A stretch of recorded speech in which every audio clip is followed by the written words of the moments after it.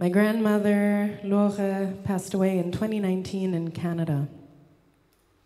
She never had the wish to return to Germany, to this place that took her parents and her childhood.